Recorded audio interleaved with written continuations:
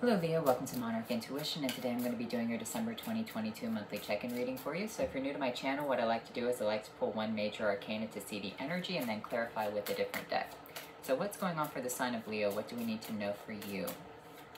We have the temperance, so divine timing, divine alchemy. Things happen at the right moment right here. So I kind of feel like what you need to do is you need to take a step back, okay? And analyze your life. What has led you up to this moment? Decisions, choices, whatever has happened. Pay attention to all of that because you are where you are supposed to be right now with the temperance energy. The temperance is trying to align you with what is going to make you happy as soon as it can alchemize the water into fire because that's what temperance is. It's an angel and it alchemizes the water between the two cups until they ignite.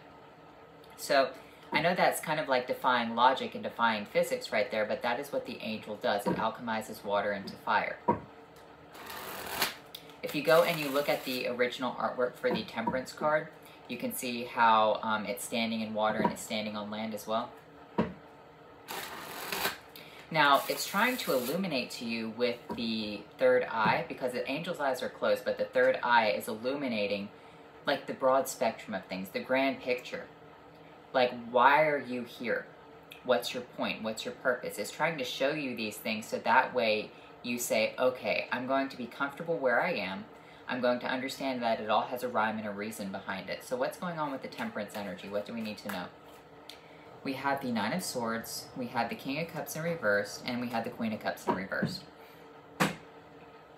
So, here's the thing you have anxiety because you've put your faith into King of Cups and Queen of Cups whose cups have poured out.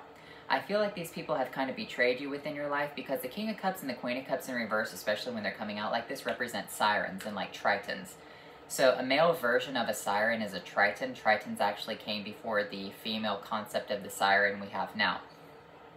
Sirens originally were called harpies and they were like these really weird demonic bird looking things. So you have anxiety because you are looking in the wrong places. You're not trusting in the temperance. You're looking at things that have let you down. You're looking at people, places, and things right here. You're saying the King of Cups has poured out his cup. The Queen has poured out her cups. They're a bunch of evil people. And the temperance is like, yeah, that's what I'm trying to show you. I'm trying to show you that people are fallible. People are evil. There is a reason that their cups fell out. There's a reason because here's the thing a lot of people have motives. A lot of people are out there for themselves, right? And that's what you have to understand. I know that you want to go and help people because you are the sign of friendship, but at the end of the day, there are people out there who are just wicked as fuck. Like that's that is what it is. And I feel like you've put a lot of faith and you've tried to help people who have just kind of like spit on you. And that's the concept of the cups pouring, you know, upside down is that maybe you help them a lot within your life and they've just spit on you. So with this Nine of Swords, you are anxious about this. You're anxious that, well, what's going to happen now? What do I have left? What, what can I do? Well, you can trust the angels because the angel is trying to take their cups from them to alchemize something from you. Or for you. So we have the Nine of Swords, with it, which is strength, and the Two of Scepters. This is funny because we have Sagittarius energy coming out with the temperance and we have the Leo energy coming out with the strength. The angel of strength is trying to hold back the mouth of the lion, trying to hold back the beast, right? Because remember, the devil is a roaring lion seeking whom he may devour. Remember, when we look at tarot cards, they are associated to astrology, but what you have to understand is that Leo the lion was killed, okay? And when we look at um, the strength card, Strength is actually represented by the angel who shuts the mouth of the lion. So kind of representation of Daniel in the lion's den. The angels come out of nowhere and say, no, that's not going to happen. The angel is trying to illuminate you to a new path, but when the angel of temperance comes out and delivers that for you. With the king of cups right here, what is going on? And I feel like it will be safe. That's the thing, is that the angel of temperance has to alchemize a situation that is safe for you. So that way you can, you know, go through this scenario without having all these pitfalls, without being surrounded by, you know, sirens and tritons right here. So what's going on with this King of Cups energy? What do we need to know? The Emperor and the Queen of Scepters coming out. Yeah, it's like...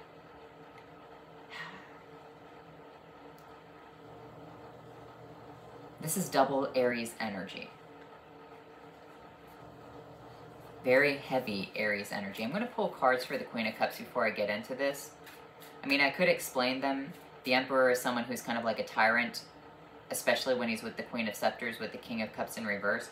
This is someone who uses emotional manipulation to get what they want. And they come off as being very beautiful, very attractive, and alluring, but once again, that's a Triton, right? Queen of Cups energy, the Six of Grails with the Seven of, seven of Knives. So yeah, sirens and tritons all over the place. These are people who are just in it for themselves. They are trying to backstab you. They are trying to take from you. They are trying to be sweet and nurturing just so they can get one up on you, just so they have control over you with the Queen of Scepters. And that's what you have to understand right here is that not everyone's going to like you. And the people who do, who fawn over you, who try to give you things, what is their motive? What is their ambition? Okay? The temperance is trying to show you that. The temperance is trying to illuminate to you why these things fell apart. And maybe you've had to find out the hard way. Maybe you just had to be like, oh, I understand. So now the temperance angel has to put you back on the right path, has to lead you forward with the two of wands, has to get you the right wand to move forward on the globe. But they have to make sure that things are safe for you the Four of Cups with the Justice and the Daughter of Knives. Here's the thing though, when it finally does come in, you're going to kind of not want it. I feel like you're going to be a little bit bitter about situations. When it comes in, it's a balanced situation, but you're looking at it like, I don't know if I can trust it. This Daughter of Knives is very skeptical because it's the Page of Swords, right? Very skeptical about things. They've been through a lot. They understand the sword of truth. They wield the sword of truth. But at the same time, they're not understanding the full picture behind it. And that's what you're missing with the temperance angel. The angel is trying to deliver you something that will balance the situation out, but you are skeptical about how this is going to work. I feel like you have a lot of questions behind it. You are questioning, how is this situation going to work out? Do I really want it? Do I really want to trust the universe? Well, here's the thing, Leo. It kind of looks like that's the only thing you have left is kind of like taking a leap of faith right here because if you have this energy coming out with the Queen of Cups and the King of Cups that have fallen out, and you have people who have backstabbed you, you have people who have tried to basically sexually manipulate you right here, what else is there except trusting the divine? If you've gone down every single path and you've seen treachery down every single one of these things, and your final thing is the angel, the thing that you know is not going to hurt you. But you're saying, I'm skeptical about that because I don't know. I don't know how I'm going to trust the universe because maybe you've never witnessed a miracle before. That could be the situation for you. you you've never witnessed a miracle. You have the Lord of Grails coming out upright with the lovers and the hermit. You have to understand there are people out there who are going to try to manipulate a situation in your favor, okay? Or in their favor. Now, this could be a separate King of Cups that is divine connection for you. Maybe that's what the Hermit wants to illuminate to you, is that there is a separate King of Cups that is better out there for you. That's not this situation. Maybe that's the problem right here, is that you're going to receive something that looks very similar to the last time, and that's what makes you very skeptical about something. Is it the same thing as the old one? Has the Ace of Cups, it looks like it's the same thing. Or maybe the universe is trying to test you one last time. Are you going to take this? Are you going to take this situation? Is it a good situation for Leo to be in? The temperance coming out with the fool. Yeah, it's a good situation. So here's the thing. I'm not saying to go down this old King of Cups route because the King of Cups did come out in reverse. However, there is a situation that's coming up that's very similar to the past. I'm not saying it could be as simple as, you know, you dated someone and then, you know, you broke up with them because they're a piece of junk and then you found out that they have a twin brother and you're dating them or a twin sister. Like that's the situation right there. It like mirrors the situation almost completely, but very different people. Okay? And I feel like that's what you have to pay attention to is that with the justice scales, there is a balance right here. But you have to allow the angel to do its work. You have to allow the angel to tell you when to go.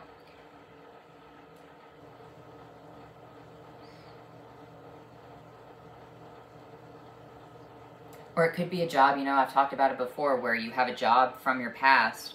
Maybe you were an accountant or something. I always say accountant, but you worked at one firm and then a new firm wants to hire you and they have really good pay, really good benefits, but you're like, I'm going to have to be doing accounting, doing the same type of accounting, working in an office building, but it's a different company altogether, different management, different employees. Like, that's what this is. It's mimicking, but it's different because it's divinely connected to you this time. It could be just as something simple as something as, um, you know, you start dating someone new, but they remind you a lot like the way that they look of their ex, of your ex. That's what this is. And you're going to be kind of worried about it. Is like, is this a test? Is this what it's supposed to be? I don't feel like this comes with red flags because it's a blank slate with the full energy. It's a brand new opportunity with something brand new. It just looks like something from the past. That's the problem. You have the Death card with the Ten of Cups and the Wheel of Fortune.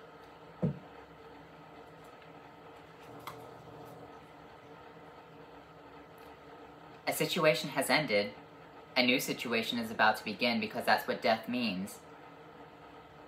And the situation will turn around. This situation is going to be very, very beautiful for you, okay? Allow the situation from the past to end and accept the Ten of Cups with the Wheel of Fortune. It's just that once again, this is not going back to your ex, all right, or going back to an old job or anything like that. This is simply something that reminds you of the past, something that burned you in the past, something that, you know, could have hurt you, something that made you upset. But this is different. It's just mimicking. The Lord of Skulls, the Two of Knives, and the Nine of Cups. What you have to understand about this is I feel like it ha- it's more stable.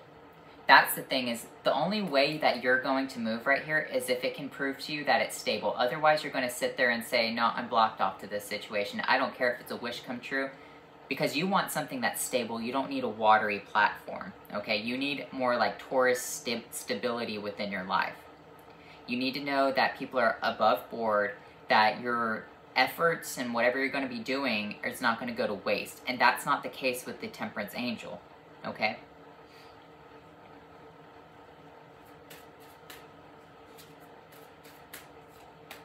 You have the Empress coming out with the Ten of Skulls, and you have the Daughter of Skulls. It's a beautiful situation for you, Leo. It's really good. It's just that it's going to be hard for you to trust a miracle. It's going to be hard for you to trust, you know, prayer meditation, good vibes. Like, you know, sometimes things happen that you can't feel, that you can't see. You know, that's the situation right there. You have the Empress with the Ten of Skulls, with the Daughter of Skulls, representing a very beautiful life, a very stable, committed life. Something that is going to make you very happy. With the Daughter of Skulls, though, you should appreciate it more okay? I feel like when it happens, you're going to be like, all this is for me. That's what this is right here. You're going to be kind of wondering about it because the Daughter of Skulls in this deck is, she's kind of bewildered, but at the same time, she's kind of like, oh wow. Like she doesn't have any emotions because she's too shocked to show them, okay? She's kind of like in that state of like, well, I don't really know how to say thank you for all of this. That's what this is. You're not going to know how to say thank you. Do your best. Because it's going to be kind of like a humbling experience. You have the Four of Scepters representing a celebration. With the Nine of Knives, you're anxious about it. The Five of Swords. I feel like the reason you're anxious about it is because you're thinking about all the bad stuff you've ever done within your life, and that's really easy to do. Whenever something good happens, you're immediately going to think, what's the catch? I can't have all of this. I'm not a good person. I'm a bad person. Blah, blah, blah. You know, good things happen to bad people. All dogs go to heaven, right? It is what it is. The wheel of fates can change. The wheel of fortune can turn around. But when you receive something, don't think about all the negatives. Be grateful for whatever this is coming into your life. The Eight of Skulls, you've worked for it. The Seven of Grails represents a fantasy. You've moved through fantasy. You've worked. It's kind of like manifestation. The Eight of Skulls with the Seven of Grails. You've worked with the fantasy right here. It's also representing that you put trust into the temperance. You put trust into the divine. Because when we look at the traditional artwork of the Seven of Grails, there is an angel who sits at the top inside of one of the cups. The other six are all fantasy, right? And then there's an angel that sits inside of the um the Holy Grail. So you're working with the angel. You're working with the angel who sits in the seventh cup, the one who is the divine angel. So work with that energy. Go with it. That's that's the hard part. How can you find faith for this? You have the Eight of Scepters and the Two of Cups. I feel like something's going to come in that's going to connect you and you're just going to be like very shocked by it. You're going to be like, okay. Okay. It is what it is. I'm going to work with it. I'm going to go with it. I'm going to go with the flow. Something comes in that kind of gives you a hint. Not too much, not too little. It's got the Two of Cups representing, you know, the Two Cups with the Temperance energy alchemizing the situation. Maybe it's coming in very quickly for you, and it allows you to be like, oh, oh yeah, I'm definitely going to work with this energy, not whatever that was in the past. The Daughter of Cups. I kind of feel like in a way it's going to be small before you know you receive the big thing. Just be grateful. Accept the cup when it comes in. Understand why you have it. Don't go thinking about all the bad stuff you've ever done, blah, blah, blah. You know, everyone feels that way. Everyone's got skeletons in their closet, right? Yeah, three of scepters with the three of knives with the five of grails. I pulled it underneath the nine of knives with the five of knives. What's coming in is that you're going to feel like you don't deserve something right here. You're going to feel heartbroken because you have the five of swords with the nine of knives coming out. It is a moment where you're going to have to look back on things from your past and reflect on them and understand why things didn't work out for you. That's the thing. You're going to go into deep reflection. You're going to understand why things did not work out for you, why you had to walk away from the three cups, why things just, you know, because once again, the temperance is divine timing. Imagine, you know, a person who's never gambled within their life walking into a casino. They put a dollar bill in, they hit the button, and then they win, right? Think of how many people have been through that casino. Think about the algorithm behind it. It's like 1 to 16,000. And it's not, you know, one person plays, and then it's 1 to 15,999. And then a second person plays, and it's uh, 2 to 15,998. No, it resets. It's always going to be 1 in 16,000 that you'll win, right? So it doesn't, it's not like, you know, 15,999 people play and then you're the 16,000 person, right? The algorithm is this. You had all these setbacks within your life you had all these bad things happen. You've had whatever happen. You've trusted wrong people. You've done your best. You've done your worst. Whatever. And then when it happens, you're going to be in that shocked moment of the Page of Pentacles, right? You're going to sit there and think, oh wow, if I hadn't lost my keys yesterday and searched the house for 10 minutes, I wouldn't be here right now and getting this. That's the situation. Oh wow, if I hadn't have you know, locked my keys in the car 10 years ago and had to wait two hours for someone to unlock my car, I would have sped up my timeline. Like, that's what you have to understand about how temperance works. It's not something that's cut and dry. It's all these things, all these people, millions of people, billions of people around the world have to be moving at the same time. And the angel is plucking all of these things, moving you along, okay? No, don't go down that road oh, you went down that road. Okay, well, how am I going to get you out of it? And they have to put you back on the right path. But every time you go down a wrong road, you set yourself further and further and further behind. Okay? Some people will never actually complete their life goal. But here it is, Leo. You have an opportunity to complete something right here, an actual goal for yourself. Maybe you've never completed a goal. I don't know. And you, it will all you'll it'll all make sense to you you'll have that understanding. The Prince of Cups with the Ace of Wands. And it will give you that drive to move forward, okay? It'll make you move forward in a more trusting state because the Ace of Scepters represents, you know, wands, represents magic. It'll make you trust in magic. Do you believe in magic? Like that song? what are your spellcasting oracle cards? I know I give that temperance analogy a lot. It's because some people don't, like, they haven't watched, you know, maybe the past 10 videos and they come back and watch. Because YouTube's kind of weird, you know, the notification bell, whatever. I get that analogy so that way people can understand, okay? So that way people can kind of like glean information. Maybe they didn't understand it the first time, maybe I didn't explain it properly, but you have new beginnings with that full energy coming out and you have answers. You're going to have the ans the answers, right?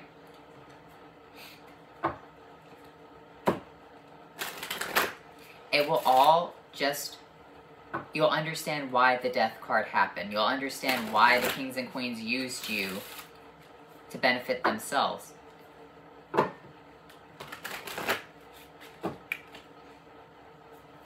it looks like it's on a physical realm, but it can also be on like a love realm.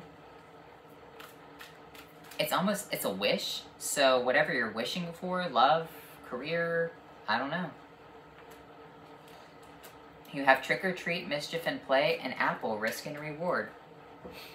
Yeah, you take that risk, put in that dollar in that machine. And once again, I don't condone gambling. I don't like to gamble. I don't gamble. Like, I gambled, like, I think a total of $2 in my life. I put one in at one machine and I hit a button and I was so shocked. I think I've told this story before, but I put a dollar in a machine once, right?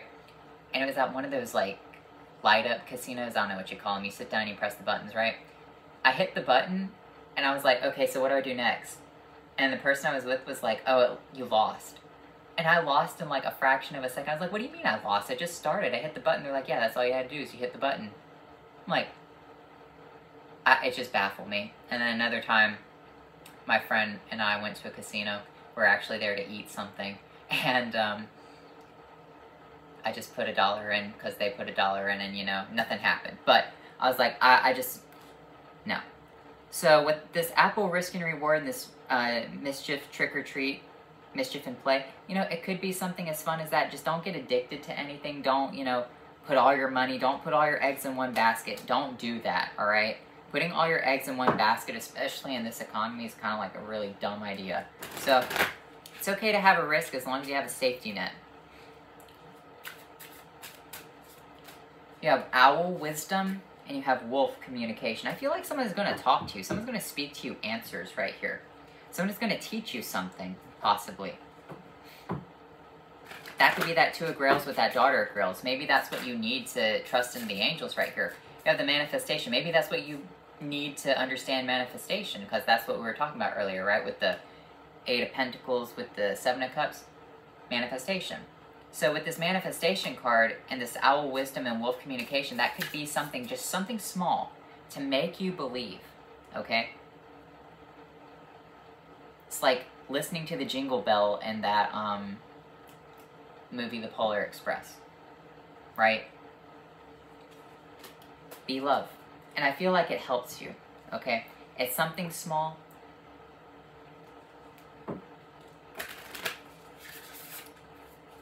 Because, you know, it, it's, especially if you didn't grow up in a very magical home, or, you know, maybe you just didn't believe in it. Maybe you always had questions.